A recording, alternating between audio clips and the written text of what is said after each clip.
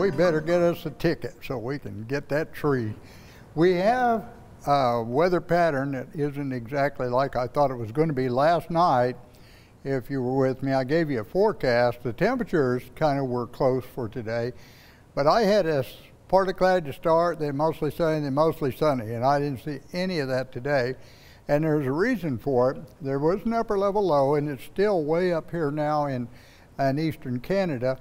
But I had figured that low was going to go more to the northeast, and then our low was going to come in kind of east, uh, east northeast, and then curl to the northeast, and that would take the moisture out with it, that wraparound moisture.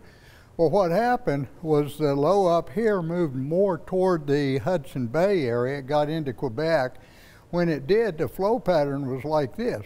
So when our low started out, it kind of got hung up in here, and instead of moving to the northeast, it uh, dropped a little bit east southeast, and that counterclockwise circulation was too close to the Gulf moisture.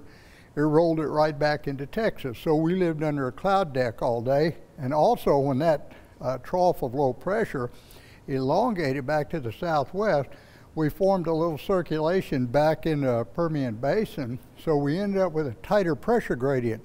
We had the gusty northwest winds today and a lot of cloud cover. We are cloud clearing now. As the clouds move out now, we're going to radiationally cool. The winds are dying down. So I think that'll drop the temperature down close to the dew point. So we could, uh, oh, I'd say 1, 2 o'clock in the morning, form a little fog. And then we hit our minimum temperature tomorrow morning, 28 to 31. We should be able to convert that moisture to some frost. So I kind of think we'll do that as we move through the night. Temperatures now, you're starting to see some pretty good cool down to the northwest where the skies have opened up. A lot of us still in the 40s, but overnight tonight, upper 20s, low 30s, middle 30s further to the east. And sustained winds starting to die down. They're from the northwest now at about 5 to 10 miles per hour. We have just a couple of areas, well, in fact, they're dying down. I had a couple of uh, wind gusts reported a little bit earlier. So we'll start in the morning cold, might see a little frost and fog. Keep that in mind. It won't last very long. We're going to take it up to 57. The winds will gradually die down. 35 to start Saturday and 61, pretty nice number. Winds will go back to the west and then northwest, and then they'll kick to the north and get gusty. Another surge of cool air comes down, 37, 57. We drop that high temperature even with uh, some decreasing clouds. 35 and 59, the winds get light on us. We cool a bit at night.